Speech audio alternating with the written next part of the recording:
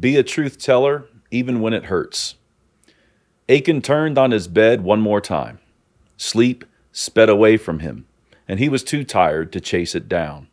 He had spent all of his strength on deception. Three feet under his bed, buried under the promised land, was consecrated silver. Just above that silver, still beneath holy ground, was God's gold, wrapped in a cursed garment, stitched by Babylonian fingers. Achan couldn't keep from sweating. He had picked these items up from the rubble of Jericho's walls.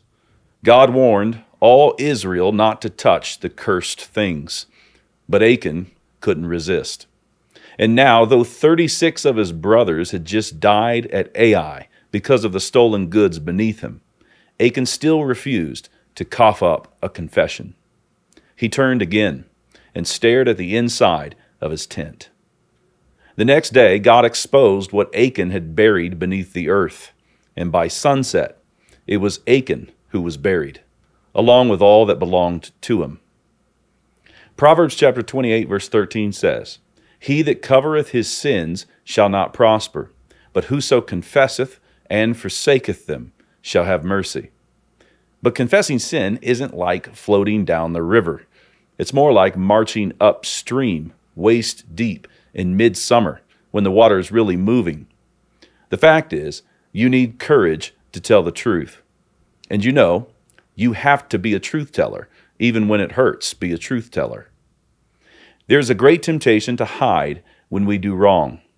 This is just what our father Adam did. Genesis says Adam and his wife hid themselves from the presence of the Lord God amongst the trees of the garden. Well, little good that did. God saw through the dirt that Achan packed over his stolen gold. God saw through the trees of the garden to Adam and Eve. And God sees through our silence when we don't want to come out with the honest truth.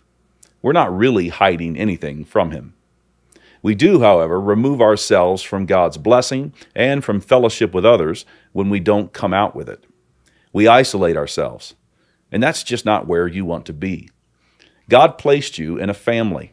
And one of the wisest men who ever lived said to listen closely to your father and mother's teaching. Proverbs chapter 1 verse 8. And that kind of listening includes speaking truthfully to them about what is going on in your life. Do this right away and regularly so that you don't end up in an Achan like situation. Several young people get themselves in a pickle by waiting to tell the truth. They know something is not right, Something happened at school that dad and mom should know about. Something is happening in their heart that dad and mom should know about. Something is out of sorts with a sibling, and the subject really should be brought up with parents. But they don't have the humility and courage to bring up the matter. There are a host of lies we tell ourselves. I will bring it up when it is a bigger problem. I'm just a private person. Dad and mom won't understand anyway or be of any help. The issue will go away if I just ignore it. Nope. No, it won't. Weeds grow in the garden. You either pluck them when they're small, or you spend all day Saturday, maybe a couple Saturdays, pulling up the deep rooted tangles while everyone else is swimming at the pool. If you don't exercise the courage to speak the truth when your problem is small, what makes you think you will exercise greater courage when your problem has grown? Better to speak the truth right now and get on with living a blessed life before God. And the courage you need is available to you. It is found in Jesus Christ. Jesus told the truth at Calvary.